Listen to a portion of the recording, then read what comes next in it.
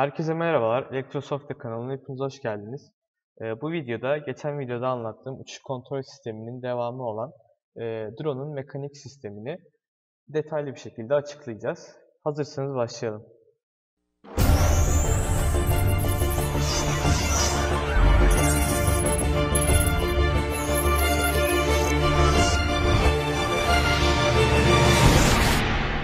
İlk olarak sunuma geçmeden önce e, dediğim gibi bir önceki videoda uçuş kontrol sistemini anlatmıştık.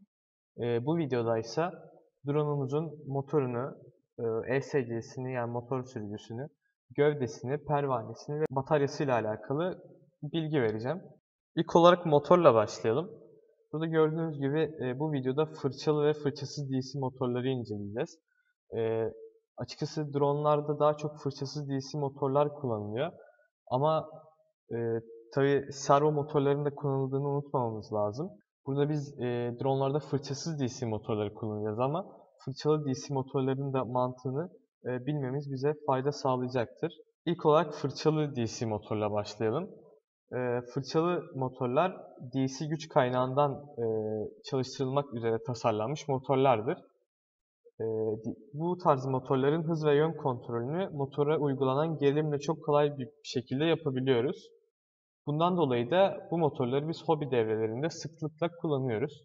Burada aslında e, söylenmek istenen şey şu, e, yani biz bunu bu tarz motorları sürmek için bir motor sürücüye ihtiyacımız olmuyor. Ama tabii e, ihtiyacımız yok diye de yani böyle bir kural yok, kullanmayacağız diye bir kural yok.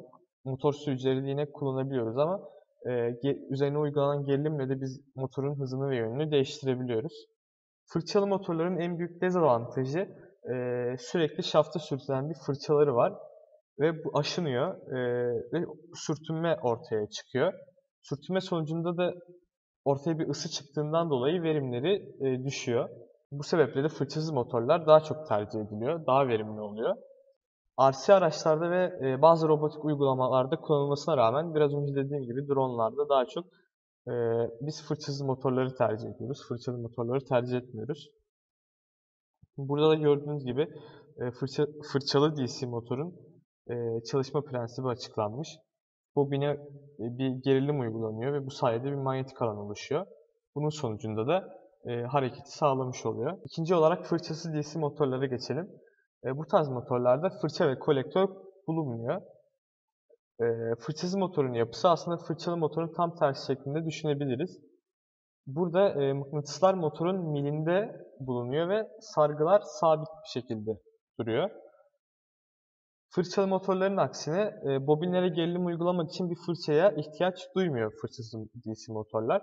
E, bu sayede biraz önce bahsettiğim dezavantajı ortadan kaldırmış oluyor. Yani sürtünmeye bağlı verim kaybı çok daha az oluyor fırçasız DC motorlarda. Fırçasız DC motorları biz e, rotor çeşitlerine göre ikiye ayırabiliriz. Inrunner ve out, outrunner olarak. Inrunner tipi motorlarda e, rotor motorun iç kısmında bulunuyor. RC model araçlarda e, yüksek KV değerinden dolayı e, inrunner tipteki fırçasız motorlar tercih ediliyor. Burada KV e, terimini e, bilmemiz lazım ama bunu e, bir sonraki motor seçimi, drone'umuz için motor seçimi videosunda bu tarz terimler daha detaylı bir şekilde açıklanacak. Burada sadece biz gerilim başına devir sayısı olarak bilmemiz yeterli. Outrunner tipi motorlarda ise e, sarımlar motorun iç kısmında yer alıyor. Rotor bu sefer dış kısmında kalıyor. Bu tarz motorlar da e, model uçak, helikopter ve dronlarda e, da sıklıkla tercih ediliyor. Burada da gördüğünüz gibi fırçasız bir DC motorun e, çalışma prensibi. E, bu örnekte rotor e, iç kısımda kalmış. Inrunner bir fırçasız DC motor bu. Burada da gördüğünüz gibi e, fırçasız ve fırçalı DC motorların karşılaştırılması var. Burada gördüğünüz gibi fırçalı DC motorda fırça ve kolektör bulunuyor. Fırçasız DC motorlarda ise mıknatıslar motorun milinde bulunuyor. Şimdi ESC'ye geçelim. Elektronik Speed Control. ESC'ler bataryadan aldıkları elektrik enerjisini alıcıdan aldığı sinyalle sürüyor ve motorlara iletiyor. Bu sayede motor devrini e, kontrol ediyor bu hız kontrolcüleri. Yani kısaca ESC e, motora hangi hızla dönmesi gerektiğini söyleyen bir devre. Bunların dışında da e, örnek vermek gerekirse motor fazla akım çektiğinde de motorun zarar görmemesi için akımı kesiyor ve motoru durduruyor. Pil belli bir voltajın altına düştüğünde de yine motorun akımını kesiyor.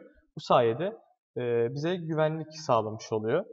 Burada da gördüğünüz gibi bir ESC devresi var. Biraz önce bahsetmiştik. E, fırçalı motorları biz gerilim seviyelerini değiştirerek e, hızlarını kontrol ede- edebiliyorduk veya basit sürücü devreleriyle de bunu yapabiliyorduk. Ama fırçasız motorlarda bu mümkün olmuyor. Yani biz doğrudan gerilimi uygulayarak veya basit sürücü devreleri kullanarak kontrol edemiyoruz. O yüzden fırçasız motorları da kontrol edebilmemiz için e, mutlaka bir sürücü kullanmamız lazım. Bunlar da ESC'ler oluyor. Farklı büyüklükteki ve tipteki motorların akım ve gerilimleri bildiğiniz gibi e, değişiklik gösteriyor. E, bunun için de buna uygun olarak farklı akım ve gerilim değerine göre biz ESC seçiyoruz. E, yine bununla alakalı sonraki serinin sonraki videolarında daha detaylı bir şekilde bu seçimleri anlatacağız. Burada gördüğünüz gibi bir ESC var. E, artı ve eksi girişleri. Bu da sinyalini aldığı e, motorlara, motorlar için sinyali aldığı giriş ve motorlara çıkışı var. Şimdi de gövdemize geçelim. Burada daha çok e, frame kavramı kullanılıyordur onlarda gövde ol- e, gövdeye karşılık olarak. Bu gövdeleri de biz altı başlık altında inceleyebiliriz genel hatlarıyla. E, bunlar trikopter, quadcopter, hexakopter, oktokopter, Y6 ve X8 olarak altı başlık altında inceleyebiliriz. İlk olarak trikopterle başlayalım. E, trikopterler 3 tane motordan oluşuyor. Üçü de aynı yöne dönüyor. Arka tarafta bir e, servo motor bulunuyor ve drone'un sağa ve sola dönmesini sağlıyor. Bu tarz dronların ön tarafında e, iki tane motor bulunuyor. İkinci olarak quadcopterleri inceleyelim. E, bu tarz frame'ler en yaygın kullanılan, kullanılan e, drone çeşitleri. İki motor saat yönünde dönüyor. Diğer iki motor da saatin tersi yönünde dönmesi lazım. E, bu tabi açısal momentumla alakalı bir durum. Drone'un açısal momentumunu sıfırlıyoruz bu sayede.